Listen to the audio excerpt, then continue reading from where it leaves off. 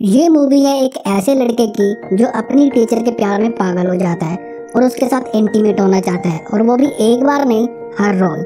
पर कॉलेज की सबसे खूबसूरत लड़की आती है, जिसका नाम बोनी है और वो बॉबी से बातें करने लगती है। और बॉबी बोनी को बहुत पसंद करता है, पर वो उसे बोल नहीं पाता, क्योंकि बोनी का ऑलरेडी बॉयफ्रेंड होता है। और उसका बॉयफ्रेंड उसी समय वहाँ पर टपक जाता है मतलब कि आ जाता है। और बोनी को अपने साथ अपनी बड़ी सी कार में बिठाकर ले जाता है। पर उसी रात बॉबी भी काफ़ी ज़्यादा एंजॉय करता है, पर किसी लड़की के साथ नहीं, बल्कि अपने दोस्तों के साथ ही। अगले सीन में हमें दिखाया जाता है कि बॉबी स्विमिंग पूल में नहा रहा होता है, और तभी वो देखता है कि एक बहुत सुंदर सी कन्या उसे मिलने के लिए आई है। और बॉबी उस लड़की से मिलने के लिए स्विमिंग पूल से बाहर निकलता है। तब उसे पता चलता है कि उसका नाम टैरी है और वो उसकी फ्रेंड टीचर है। अब टैरी बॉबी से मिलने के बाद बॉबी के फादर से मिलने के लिए जाती है और बॉबी के फादर वहाँ पर कहते हैं कि अगर बॉबी के 85 परसेंट से ज़्यादा नंबर आए तो वो उसे दस हज़ार डॉलर एक्स्ट्रा देंगे, वो भी बोनस के तौर पर। और ये सुनकर टैरी बहुत ज़्यादा खुश हो जाती है। तो अब टैरी बॉबी को ट्यूशन देना स्टार्ट करती है।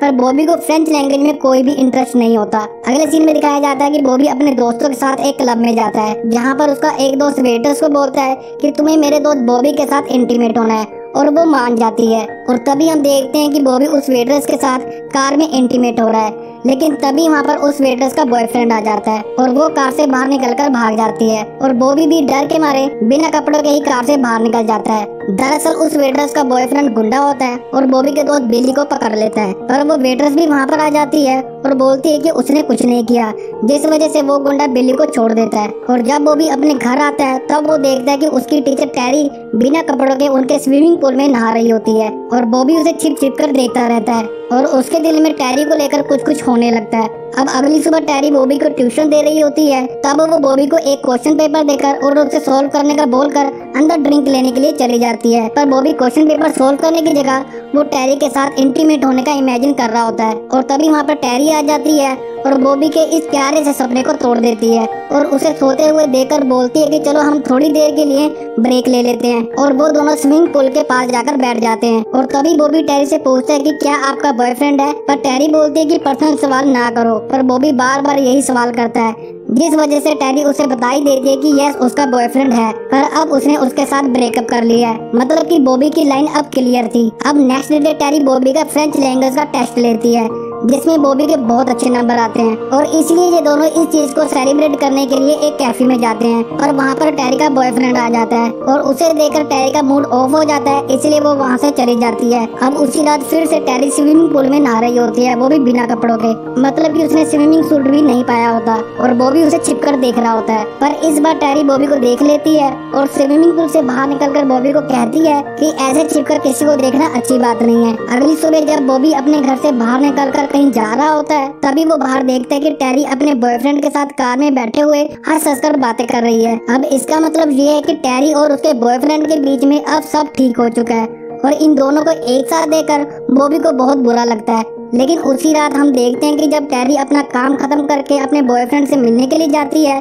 तब वो वहाँ देखती है कि उसका बॉयफ्रेंड कार में किसी और लड़के के साथ घपा घपा लगा हुआ है और ये सब टेरी देख लेती है और अपने बॉयफ्रेंड के साथ झगड़ा कर कर वहाँ से चली जाती है। और जब टेरी बॉबी को उदास देखता है तो वो पूछता है की क्या हुआ?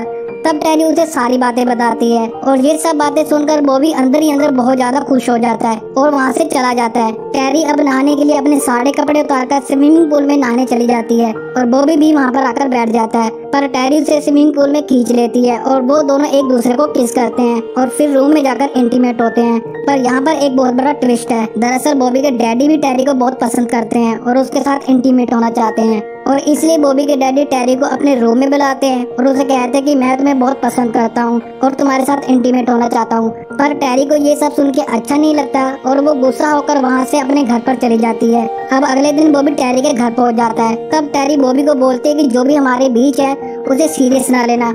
और बॉबी ये सुनकर कहता है कि जो कुछ भी हमारे बीच है, वो सब कैजुअल है बस। ये सुनकर टेरी के चेहरे पर स्माइल आ जाती है और उसे अपने घर के अंदर ले जाती है और उसके साथ ताबड़ तोड़ वाला इंटीमेट होती है। अब अगली सुबह दिखाया जाता है कि ये दोनों एक दूसरे के साथ बहुत खुश हैं, क्योंकि बॉबी टेरी से प्यार करने लगा है और टैरी के मन में भी बॉबी के लिए कुछ हो रहा है। अब आगे दिखाया जाता है कि बॉबी के डैडी बॉबी और टैरी को किस करते देख लेते हैं और नेक्स्ट डे बॉबी को अपने पास बुलाकर बोलते हैं कि तुम्हें जो ये स्पेशल ट्रीटमेंट मिल रहा है, इसके लिए मैं तुम्हारी फ्रेंड टीचर को दस हज़ार डॉलर पे कर रहा हूँ। अब ये सुनकर बॉबी को बहुत बुरा लगता है और अपने डैडी के साथ झगड़ा कर कर वहाँ से चला जाता है और सीधा टेरी के पास पहुँच जाता है और टेरी से कहता है कि तुमने मेरा इस्तेमाल किया, वो भी सिर्फ़ दस हज़ार डॉलर के लिए।